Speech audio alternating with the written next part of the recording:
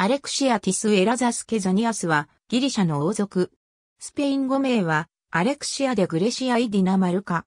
ケルキラ島にあるモンレポスの上官でギリシャ王コンスタンティノス2世とその日、アンナ・マリアの長女として生まれる。1967年に弟パウロスが生まれるまでギリシャ王位の推定相続人の地位にあった。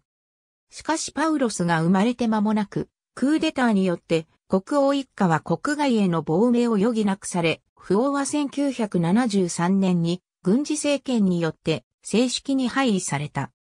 1999年7月9日にスペイン人の建築家でヨットレース選手のカルロス・モラーレス・クインタラーとロンドンの聖ソフィア大聖堂で結婚式を挙げた。結婚に際してカトリックに改宗したため、旧ギリシャ王位及びイギリス王位継承権を喪失した。現在、カナリア諸島のランサローテ島に家族で暮らしている。カルロスとの間に一男三女を設けている。